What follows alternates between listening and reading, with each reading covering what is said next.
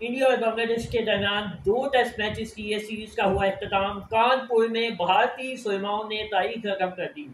یہی وہ شینٹو تھے جو کہ پاکستان کے ساتھ رینک کر کے گئے تھے۔ دو صفر سے پاکستان کو پاکستان کے اندر ہرا کر گئے تھے پنڈی میں اور وہی شینٹو آج بھارت کی سرزمین پر رسوا ہو گئے۔ کمال پرفارمنسز دکھائی ہے آج انڈین ٹیم نے اور دو دن کے اندر اندر ٹیسٹ کرکٹ کا رزلٹ انہوں نے نکالی ہے کمال پرفارمنسز دکھائی ہیں آؤٹ کلاس کر دیا انڈین بالنگ نے انڈین بیٹنگ نے انڈین فیلڈنگ نے بنگلہ دیشی ٹائیگرز کو اور شینٹو کی کپتانی میں ان کو یہ داغ لگا ہے کہ بنگلہ دیش نے پاکستان کو تو ہرا دیا شان الیون کو تو ڈسٹرائے کل کر دیا، لیکن روہت شرما اینڈ کمپنی کے ارادے بھائی کچھ ہوا ہی نہیں۔ کیا کمال کرکٹ کھیلی ہے وراٹ کوہلی نے، ان کے ساتھ رشب پنڈ نے کے ایل راہل نے، جسپریت بمراہ نے آکاش ٹی نے جو ان کے نئے پاس بالر ہیں ابھرتے ہوئے اور انڈین ٹیم نے آج جس طرح کی کرکٹ کھیلی ہے۔ سیونٹین اوور سے پہلے پہلے انہوں نے نائنٹی سکس رنس کا یہ ٹارگٹ چیز کر لیا اور ٹیسٹ کرکٹ میں انڈین ٹیم نے بہت بڑے بڑے ریکارڈ پاس پاس کیے ہیں، تتر بتر کر دیے ریکارڈ۔ جتنی انڈین ٹیم کی تعریف کی جائے، وہ کم ہے۔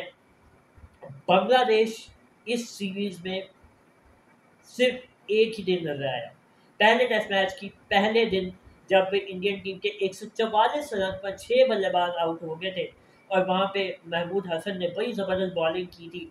انڈین ٹیم کی کمر توڑ کے رکھ دی تھی۔ لیکن اس کے بعد آج کا دن ہے اور اس دن وہ والا دن ہے جب انڈین ٹیم نے کم بیک کیا ہسٹورک کم بیک کیا اور روہت شرما نے بتایا کہ میں ایک دلیر کپتان ہوں۔ ہم بات کرتے ہیں انگلینڈ کی، ہم بات کرتے ہیں آسٹریلیا کی کہ وہ دلیر کرکٹ کھیلتے ہیں، وہ مینٹلی ٹف ہیں۔ لیکن جب سے انڈین ٹیم کو گوتم گمبھیر اور راہل ڈیوڈ کی کوچنگ نے جب سے انڈین ٹیم کو سنبھالا انڈین ٹیم کا مانو ڈی این نہیں چینج ہو گیا۔ اس سے پہلے انڈین ٹیم کے کپتان رہے ایم ایس دھونی، پھر وراٹ کوہلی کپتان بنے، پھر اجنکیہ رہانے کپتان بنے۔ ڈفرینٹ کیپٹن انڈین ٹیم کو ملے۔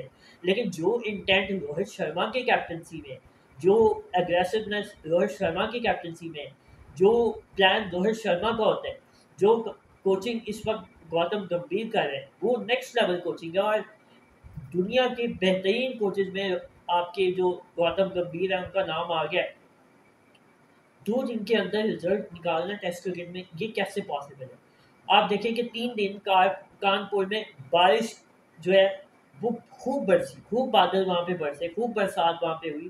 لیکن اس کے بعد جس طرح سے انڈین ٹیم نے کم بیک کیا ہے that was remarkable comeback historical comeback اور جتنی داد دی جائے انڈین ٹیم کو وہ کم ہے۔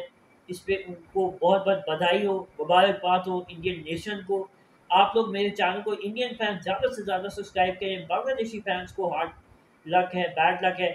بڑا وہ آسمانوں پہ چاہ رہے تھے کہ ہم پتہ نہیں انڈیا کو انڈیا کے اندر دو سفر کر دیں گے۔ شانتوں نے بڑے بڑے بیان دیے تھے، لیکن کوئی فائدہ نہیں ہوا شانتوں کو۔